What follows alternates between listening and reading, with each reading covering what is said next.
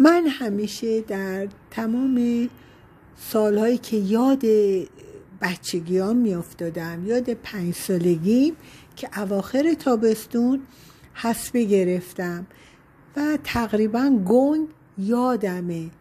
یه دو سه ماهی مریض بودم. همیشه هم در تمام این سالها تای فکرم بود که هر وقت یادم میافتاد این فکر به من دست می‌داد که من چرا من فقط آخه فقط من تو این همه بچه که تابستون رفته بودیم باغ اوین من باید حسفه بگیرم. چون چند تا خونواده بودیم باغای اطراف همه با هم دوست بودن و خب بچه ها معمولا یه جا جمع می شدن و خیلی عجیب بود تا اینکه من چند وقت پیش که یه داستان باز از بچگیم تعریف می کردم روی عکسای مریم دخترم گذاشتم اینا یادمه که شبش که به صلاح داستان رو پست کردم و تموم شد کارش یه دفعه یادم افتاد که ای من همیشه تو ذهنم بود که اونجا افتادم توی استخر خیلی بزرگ و آب راکت اصلا کسی اونجا شنا نمی کرد و یه استخر دوستمون بود که خانومش امریکایی بود. ما اونجا اجازه داشتیم بریم بازی کنیم. این استخر انقدر کثیف بود و البته خیلی هم شاید گود نب آبش زیاد نبود.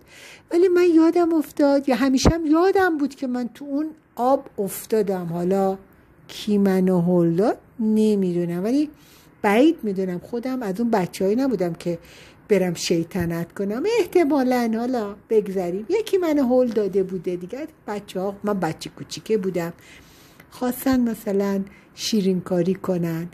نمی‌دونم واقعا اصلا هیچ تو ذهنم نیست که مثلا کسی منو هول داده ولی نمی‌دونم چون از این کارا بچه ها می‌کنن. و خوب یادمه که وقتی افتادم تو این آب یه آب قهوه‌ای بدرنگ کلی هم حالا اینا حتما لجنا بوده ولی مثل حشره جلو چشم مثل مثلا کرم و اینا ولی کرم حتما نبوده. این لجنا بوده که روی به آب بوده و داخل آب حرکت داشته. و یادم هم هست که یه آقای به نام منصور بود که راننده ما بود.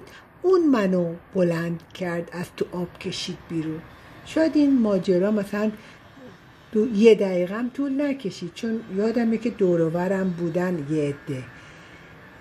بعدا یه دفعه یادم افتاد که خب این حسبه به خاطر آب کثیف بوده. خب بابا جون من اونجا دو سه قلوب آمد. من آب خوردم دیگه. یادم هم میفته حالم به هم بخوره.